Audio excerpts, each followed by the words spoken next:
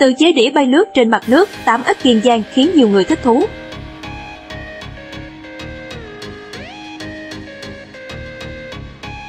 Những ngày qua, mạng xã hội sốt rần rần với đoạn clip ghi lại cảnh vật là có hình dáng giống phi thuyền không gian di chuyển linh hoạt trên mặt nước như những bộ phim viễn tưởng. Cư dân mạng tỏ ra trầm trồ, kinh ngạc trước sức sáng tạo, độ khéo tay của người chế tạo ra mô hình này. Qua tìm hiểu, chủ nhân của chiếc đĩa bay là anh Trần Long Hồ, 37 tuổi, ngụ huyện Giang Thành, Kiên Giang.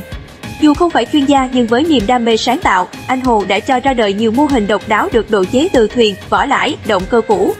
Sau khi nghiên cứu, tìm hiểu thông tin, anh Hồ chỉ mất hơn 4 tháng với kinh phí 60 triệu đồng để chế tạo đĩa bay.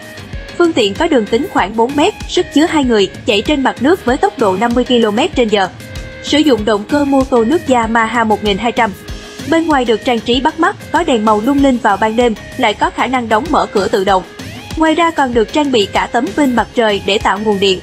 Sau khi đăng tải lên YouTube, video ghi lại quá trình chế tạo đĩa bay đã thu hút gần 17 triệu lượt xem.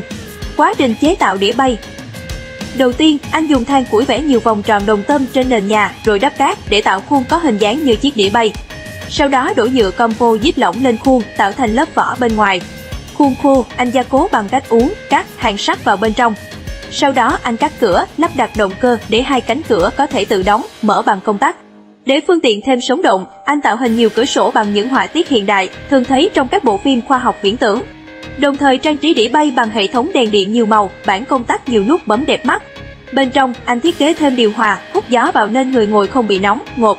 Sau cùng, anh sử dụng động cơ lấy từ chiếc mô tô nước cũ, lắp đặt một cách khéo léo vào mô hình. Khi hoàn tất, anh đem phương tiện ra sông chạy thử trước sự chứng kiến của bạn bè cùng người đi đường. Từ trên bờ, anh bấm bộ điều khiển từ xa để mở cửa đĩa bay rồi bước vào bên trong.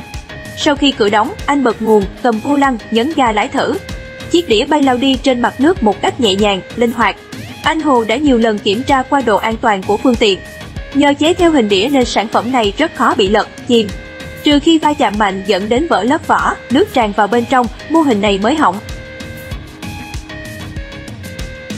Thánh chế chưa từng qua trường lớp, không chỉ nổi tiếng với mô hình đĩa bay, anh Hồ từng khiến cộng đồng mạng trong nước và thế giới trầm trồ trước nhiều sản phẩm đồ chế từ phế liệu như thuyền nhện nước, du thuyền tự chế, xe ba bánh, thuyền siêu tốc.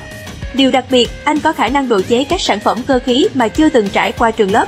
Các sản phẩm do anh tạo tác đều là kết quả của sự tự mày mò, nghiên cứu. Anh thường chế tạo sản phẩm theo phương pháp làm đến đâu, học đến đó. Được biết, anh Hồ vốn là nhân viên bảo trì khách sạn.